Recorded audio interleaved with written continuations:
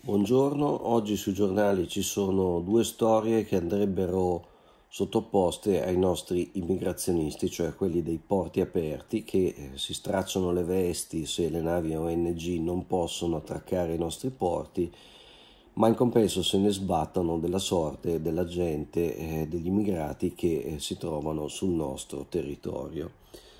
A Milano uno yemenita di 23 anni radicalizzato, eh, già segnalato dalla mh, mm, polizia tedesca, eh, ha aggredito un militare italiano con un paio di forbici gra- gridando Allah Akbar, Allah Akbar. La ferita per fortuna è lieve, l'uomo è stato fermato, del tutto normale non è perché ha affermato di sentire delle voci che lo hanno spinto a compiere il gesto, ma qui c'è comunque una storia eh, a suo modo esemplare.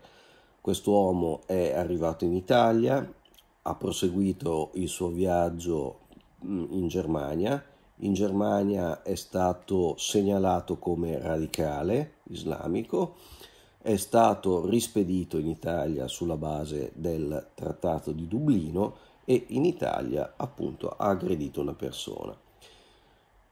Qui è un insieme di cose, c'è il radicalismo ma c'è anche la disperazione. Sentite cosa ha detto l'uomo yemenita in uh, centrale, in questura.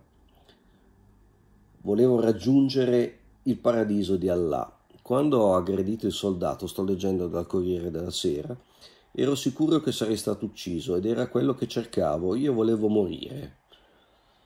Non avevo più un soldo, non mangiavo da giorni, per tre notti ho dormito per strada, la mia vita è andata in malora e per questo ho scelto di farla finita con una sorta di riscatto cercando il paradiso.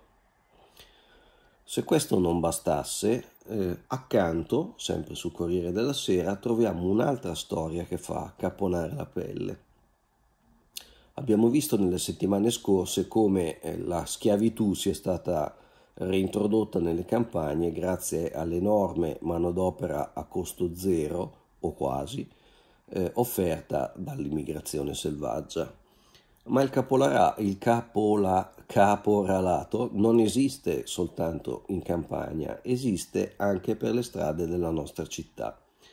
Infatti è venuto fuori che eh, il, um, avete presenti i ragazzi che consegnano il cibo e altre cose nelle nostre case, ecco, molti di loro sono clandestini che comprano da eh, immigrati regolari o da italiani l'applicazione che serve per svolgere quel mestiere, cioè i rider eh, hanno un'applicazione che eh, genera codici che ti permettono di sapere chi è il cliente e dove devi andare in sostanza se non hai l'applicazione non puoi lavorare.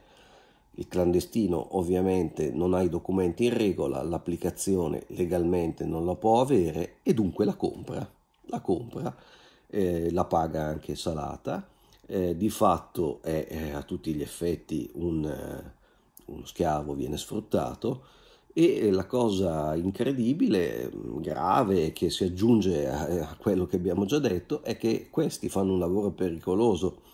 Nelle grandi città rischiano ogni giorno di essere tirati sotto, anche per colpa loro, visto che ne fanno di tutti i colori, attraversano con la bicicletta dove non potrebbero andare sensi vietati non esistono e così via, ma non è questo ovviamente il punto. Il punto è che se gli succede qualcosa non possono nemmeno chiamare la, l'ambulanza perché altrimenti vengono identificati.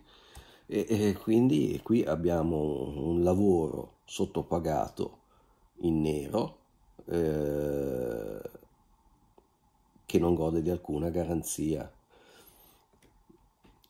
chi, chi, elogia i porti aperti forse due domande dovrebbe farsele, cioè se è questo il, quello che possiamo offrire, forse sarebbe meglio regolarla l'immigrazione.